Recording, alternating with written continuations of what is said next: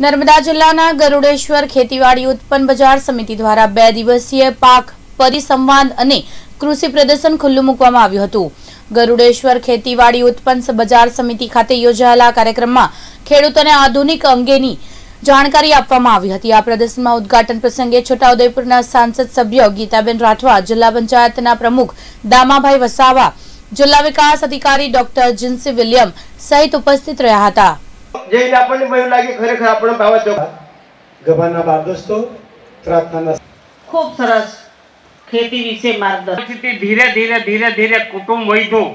તમને પચાસ ટકા નોકરીઓમાં પણ તમને તેત્રીસ ટકા ખૂબ સારી મહેનત આપ મહેનત કરીને એનો અને સફળ બનાવીએ.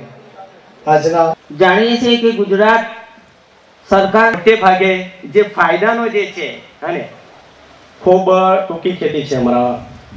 જીવામૃતનો ઉપયોગ કરીને ઘઉંનો કૃષિ અને બાગાયત છેલ્લા છેલ્લા અંતર્ગત આપની વચ્ચે પોતાનો જેના દર્શન માત્રથી પાવન થઈ જવાય.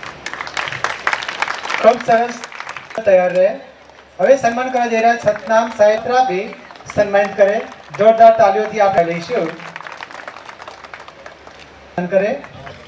સૌ જોરદાર તાલીઓથી આપણે આ સાહેબ વસાવા નવા ગામ ત્રણેય તૃતીય ઇનામ ત્રણસો ના હકદાર છે. તૃતીય ઇનામ જાય છે. જ્યોત્સનાબેન પાડી દઈશું